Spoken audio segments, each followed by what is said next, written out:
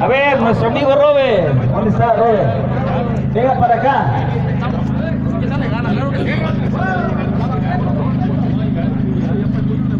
Este, eh, el proyecto se ve así de esa manera. Nuestro amigo Robert se los va a explicar paso por paso. Dale, compadre, le toca. Para no hacer todo yo. Bueno, compañero, les voy a hacer una explicación breve en lo que consiste en sí el proyecto. Que básicamente empieza en esta zona, para que se den una idea, tienen unas pequeñas y nombres las lagunas para que se ubiquen. El proyecto empieza desde Conlagara, que viene siendo en esta parte, en el crucero de Conlagara. Cruza llegando al Palar. Bordea toda la orilla con el Beto Bueno, llegando acá por el callejón de Juan Conejo Güero. Da vuelta y se mete con Juan Ruiz, rodeando la Tezcalama. Ahí falta pedir permiso pues a, la pequeña esa sobre la construcción del, camino de ese bordo a terminar en el panalito donde está donde están las piedras del dragado, ahí es donde el ingeniero quiere el topógrafo para tomar los niveles y traerse desde allá para acá la altura de, de la obra. El ingeniero pregunta sobre si afectaría el río a esta obra y todos sabemos que queda muy retirado el río porque y no hay río, de hecho ahí. Entonces, el proyecto en sí beneficia, no afecta, pero hay muchas personas que donde quiera hay negativos y hay más contrarias que yo. Entonces, como les digo, se trata de que el nivel de las lagunas llegue hasta los vidrillos, cuando mucho aumente unos 40 centímetros más desde, desde el nivel que hay, porque ahorita, a como están las mareas, la laguna de las flores, la de los tontos, se queda el puro lodo, no queda nada no se, no se mantiene nada. Afortunadamente somos la cooperativa que produce más larva de camarones, pero pues no tenemos dónde crearla. Porque yo les hice el comentario a algunas personas que tuve el año pasado, por decirlo así, el privilegio de pescar desde Laureles hasta las Arenitas. Y en ni una laguna de esa zona produce el camarón que produce aquí en Juveniles. Aquí hay miles de millones de camarones. El detalle es que no tenemos dónde engordarlos porque no tenemos agua. Ese es el detalle. Pero el proyecto en sí, así como lo ven, así malhechón hecho, donde están los árboles, está el ganado, son los potreros que están adentro, por decirlo así, incluidos. Pero dígame. ¿a qué persona se va a afectar? Si, si en la zona donde tiene Conejo Cuero los Ruiz, en las aguas van a poder acceder a sus potreros en camioneta. El otro camino que se piensa realizar desde aquí, desde con el profe Salva, pasando por el puente del Rocillo a salir al dragado. Aquí el potrero el Nacho Nava, ahí tiene el, el, el Nico, los pijamas, por ahí pueden pasar los pelayos para allá, para su zona. Otra de las cosas que estamos nosotros buscando hacer es no afectar ni un terreno de cultivo, ni un potrero, a nadie se le va a quitar, nada más la zona de, exclusiva que se está trabajando ahorita. Lo único que se busca es elevar los niveles de agua de las lagunas, apresándolas con un dique de contención y un sistema de bombeo. ¿Por qué registrada como granja ecológica? Granja, no, no nomás tapo para producir todo el año, que haya todo el año producción de camarón. En las temporadas de lluvia todo esto se inunda, pero se sale el agua porque no hay quien la contenga allá. Aquí adentro, Aquí donde está el agua, ¿dónde? el panalito. El panalito para allá para contigo. ¿Dónde están las piedras? En el canal. Yo estoy. Sí. Yo dentro del ejido. eh, Sí, ya, ya, ya sabemos. Pero el bordo te va a pasar cerca para que puedas ir a las aguas a tu verano. Estos son los bordos que se planea Este camino muchas personas dicen que va a afectar mucho. No, este bordo va a ser mínimo nada más un camino de acceso. Aquel es el bordo que el ingeniero se va a encargar de traer el nivel de donde va a construir el dique y donde se va a construir la compuerta. El nivel. La bomba es para mantener el vidrillo en el agua. Todos sabemos que el camarón en el vidrillo es donde engorda, es donde está el alimento. Como, como decimos, si vamos a producir un camarón ecológico, natural, sin contaminantes, Oye, eso es lo que está viendo el gobierno ahorita.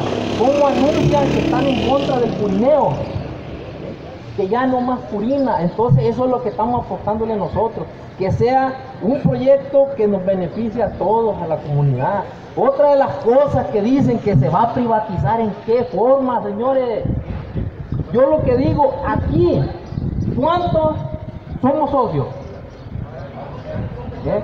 ¿Cuántos fueron socios que se salieron? ¿Cuántos no son hijos de fundadores, socios de la cooperativa, pero no funciona? Somos los mismos en el mismo pueblo los que estamos viviendo aquí. La idea es que participemos todos, que todos nos beneficiemos, porque a mí se me haría como una cosa muy gacha ponerme con un leño a la pasada y no dejar pasar a mi vecino trabajar. ¿Verdad? Se trata de que este proyecto se realice por toda la comunidad, para que el mismo gobierno vea que tenemos ganas de trabajar y se realice. ¿O qué? Vamos a decir que estamos sacando toneladas ahorita y por eso no queremos aceptar a más gente. ¿Y él me puede decir que, todo el año estuvo trayendo la characa llena? Si de acá nos veníamos corriendo de los zancudos, pero como estaba diciendo el Pelayo, que no sacábamos nada. Entonces, la idea es de que este proyecto genere empleo permanente, que tengamos, por decirlo así, este proyecto respalde un seguro social, un sueldo, que me den, por decirlo así, mis 200 pesos por ir a cuidar. Le dejo a mi familia y estoy, trabajando allá en el cuido. Y los beneficios, póngale que no se ganan rápidamente, pero ya con el simple hecho de tener un pequeño sueldo y el derecho a una pensión, porque eso ya no existe aquí. Antes se pensionó el que era tabaquero porque había de dónde sacar, pero ahora ya no existe eso. Entonces la idea es generar de ahí, por decirlo así, una empresa que nos respalde y de ahí nos apoye a, la- a las personas que quieran participar en este proyecto. Y, y como les digo, aquí no se trata de que nos desgreñemos, ni nos peleemos, ni nada. Se trata de que lo hagamos en beneficio de todos. ¿eh? Sin envidia, porque lo primero es la envidia, el camarón no le gusta. Todos lo sabemos que a la canción lo dice, que la envidia no es buen pesebre para engordar camarones. Entonces, yo los invito a que juntos hagamos la realización de este proyecto. Hablemos con la autoridad. Al veto al presidente ya se le comentó, ya le dije, me dice que sí, pero necesitamos que nos otorguen en el comisariado el acta de asamblea y no necesariamente el presidente es autónomo, los ejidatarios son los que tienen la última palabra. El pueblo, ¿eh? el pueblo son los que tienen que decidir si quieren que se realice ese proyecto. ¿Qué perdemos? El ingeniero se los ha dicho. El impacto ambiental viene, viene por parte de- del gobierno, por decirlo así, no nos va a costar ni un peso. La realización de la obra también puede, por lo que siempre hemos dicho y se los he dicho a los representantes, dinero no tenemos, no hay para hacer estas cosas.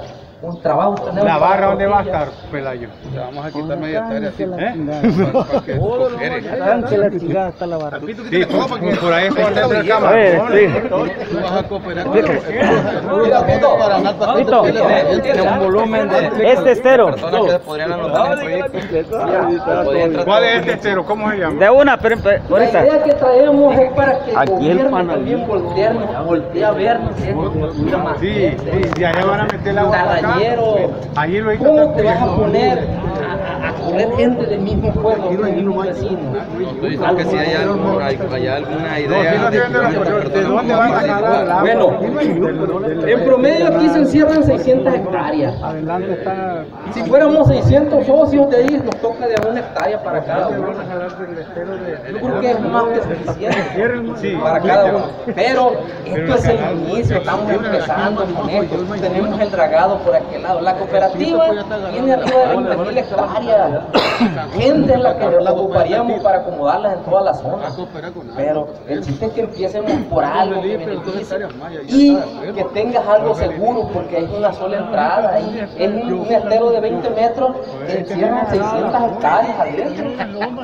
hay un antecedente de varias granjas y este proyecto lo vi y me gustó en Sinaloa, en el, en el en el, en el- en el ejido de Barrón. Está una, una cooperativa que así trabaja. Qué bárbaro, dijo el mundo, cómo producen camarones ahí esa gente, pero están unidos. Y aquí es lo que nos hace falta, que empiecemos a unirnos y, y que vea el gobierno que, que, que sí estamos trabajando bien y nos van a apoyar.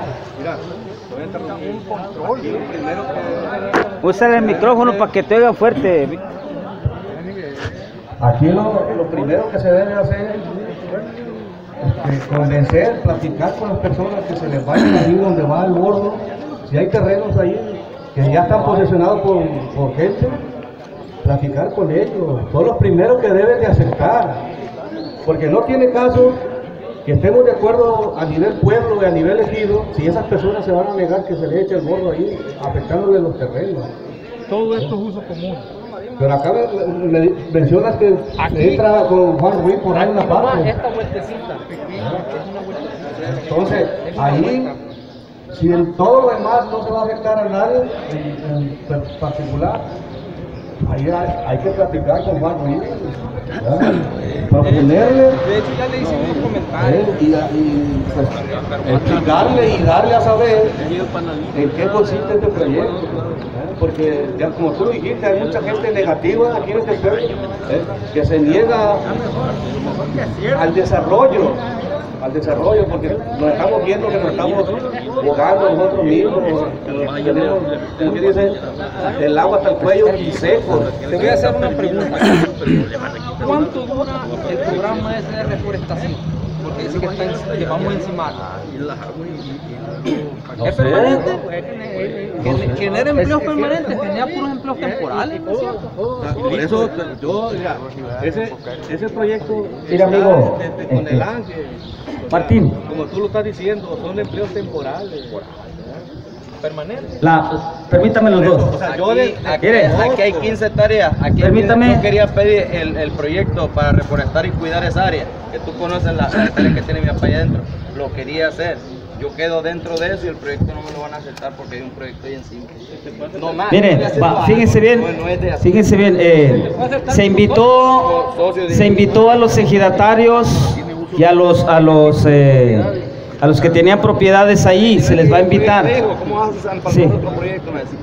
Eh, se les invitó a todos los que tienen potreros allí, apoyo. porque eh, se les quiere incluir como cualquier otro de los, mm, aunque no sean pescadores, si tú tienes terreno ahí, se te va a invitar a que te unas al grupo con la misma, las mismas eh, garantías, los mismos beneficios, los mismos derechos que los pescadores. Si tú tienes tierra ahí, vas a ser parte del grupo y vas a recibir tu tonelada, tus dos toneladas, lo que te corresponde cada año. Ahí la cosa sería que los que tienen potreros allí vieran cuánto te da de ganancias metiendo tus vacas e- ese potrero y cuánto recibirías de ganancias incluyéndote al programa.